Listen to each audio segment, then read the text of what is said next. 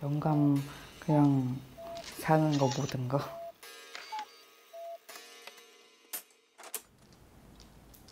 음, 저는 좀 계속 만족을 못하는 그런 성격인 것 같아요.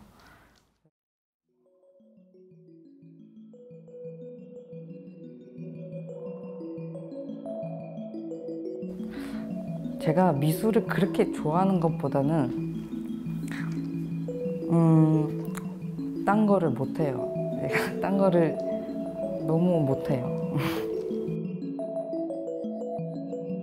그림 그리는 사람들은 음, 어디서 멈춰야 되는지 알아야 된다고 그렇게 말씀하셨어.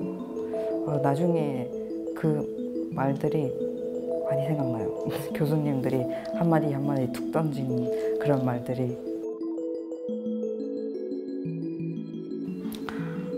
제가 학교 다닐 때 그 오토바이 타고 그래피티 막 하고 그랬거든요.